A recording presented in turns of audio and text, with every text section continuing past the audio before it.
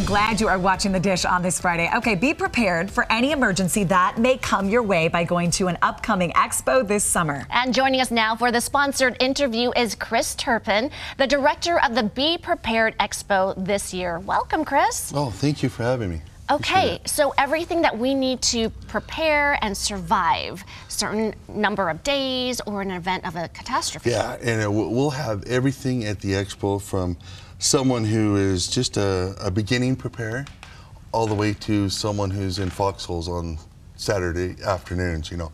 So anything, because a little bit of preparedness is always better than none.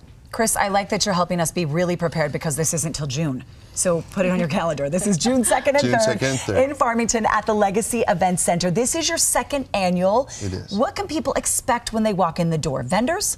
Yes, we're going to have plenty of vendors and tons of giveaways. Anything that you need to have. Um, some of our big sponsors, like Darren Bordeaux RV, they're giving. We're going to be giving away a 20 to 22 foot uh, RV.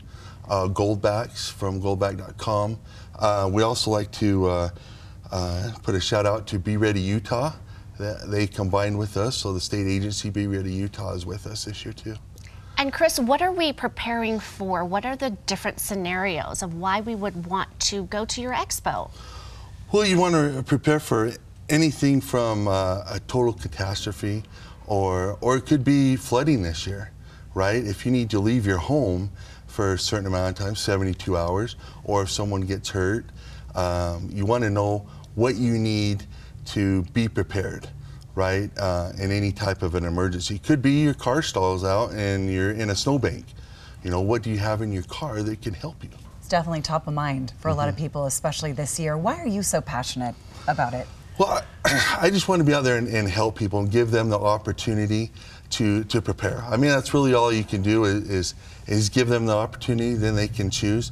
Uh, I know last year everyone was very happy, and we have tons of classes uh, that will be offered, and from various speakers. We'll have speakers on stage in the main expo center, and then we have uh, classes running both days every hour, uh, along with giving away a, some sort of a gift every hour.